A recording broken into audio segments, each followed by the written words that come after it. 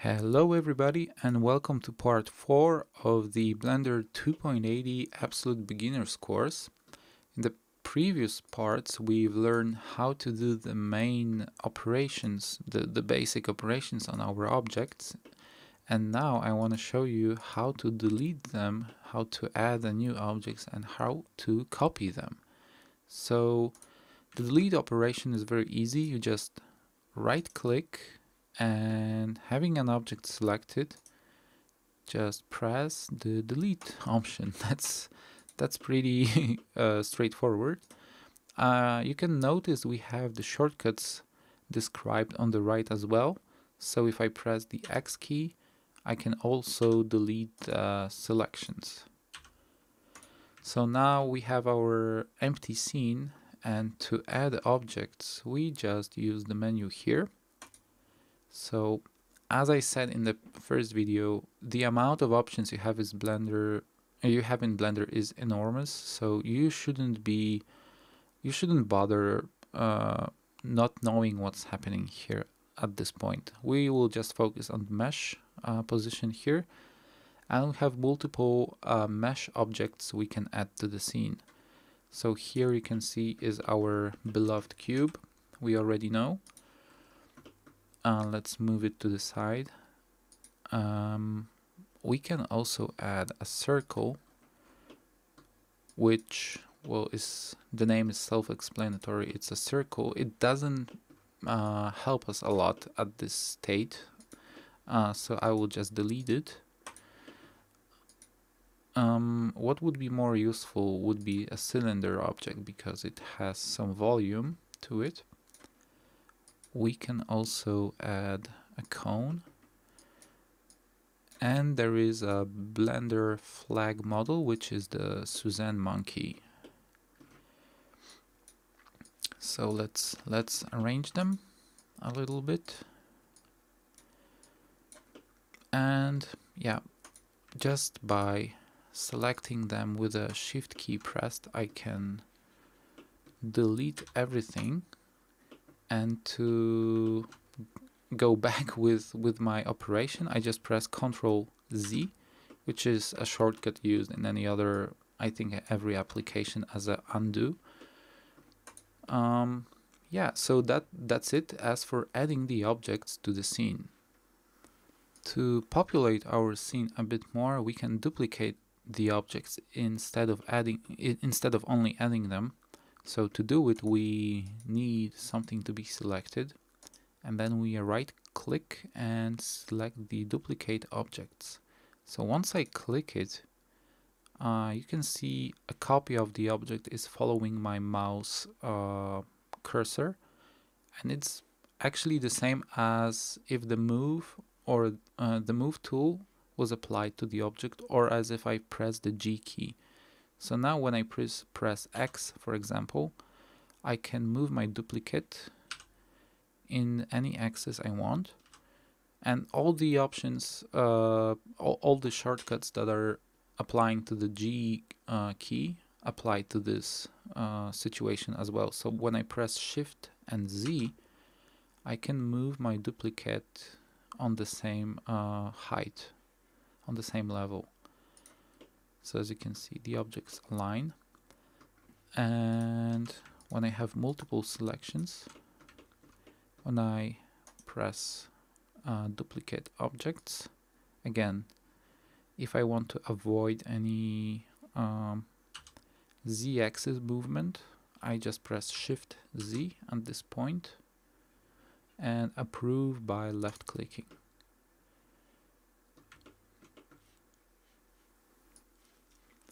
Um, as with deleting my objects, I can also use a shortcut for duplication. So as you can see, it's Shift D.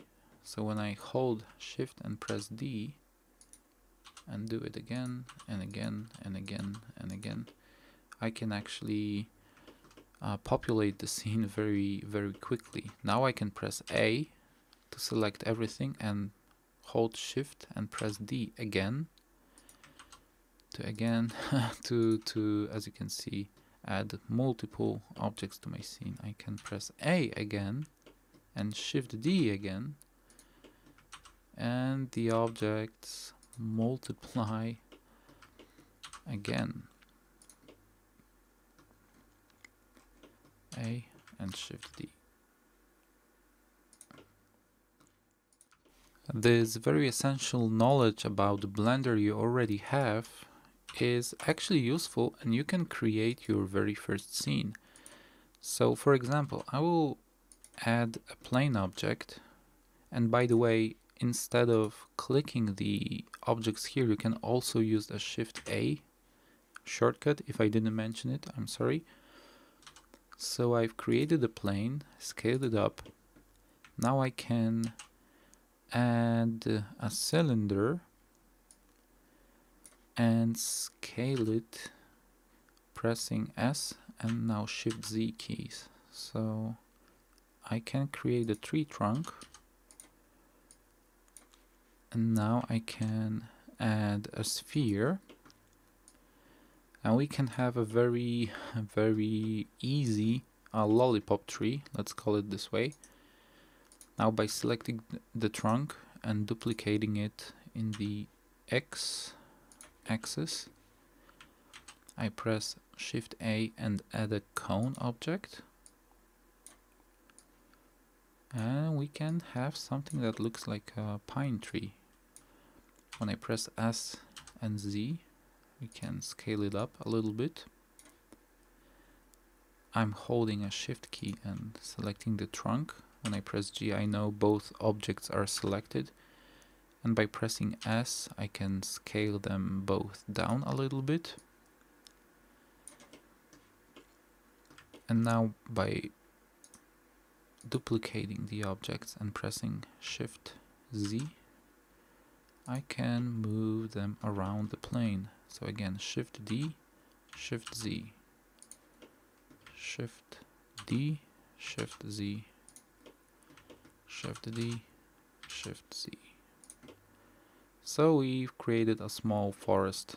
very, very um, amateurish, very cartoonish, but I would say for a less than one hour of getting into Blender, that's already something. So again, Shift D, Shift Z. We can make some trees a bit bigger. So I will copy it and scale up. Shift D, Shift Z.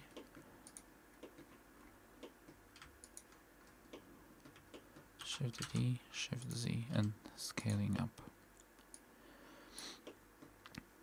So as you can see, uh, with this, again, with those very, very basic tools, we can create some stuff. We can create those uh, very easy scenes, but I would recommend you to take a little bit of time and and and play around and just to uh, re revise the whole knowledge uh, we have we've already learned in the video.